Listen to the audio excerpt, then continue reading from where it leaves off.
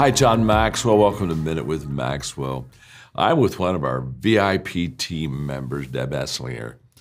And uh, she's going to give us the word today for Minute with Maxwell. Deb, it's good to be with you. What's the uh, word? It's great to be with you as well. And actually, I have three words Three words. Oh, Yeah, my yeah. goodness. I don't know if I can do three, but let's try it. National Leadership Day. Okay, girl. Yep. Okay. There's a reason why Deb gave me those three words National Leadership Day. Um, in fact, I tell you what, let's just change Minute with Maxwell for a moment. You tell them why this those would be your three words today. Well, I have this great uh, mentor in my life, and he happens to be sitting right next to me.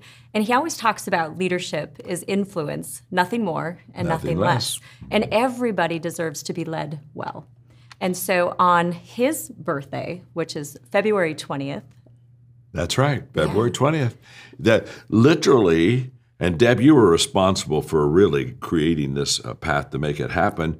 What what have they done now with February the 20th? My birthday is now declared like a National Leadership Day. It is. We gave we gave a whole day dedicated around leadership, and leadership is not the positions, not the titles, but more about carrying influence so that we can lead people well using good values. So on your calendar, they should probably or see on February 20th National Leadership Day. Yes, you're correct. And that's on my birthday. So whenever you see that, you just can say happy birthday to me, okay?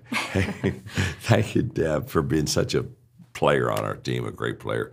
And thank you today for being with us on Minute with Maxwell. Remember, February 20, every year, National Leadership Day.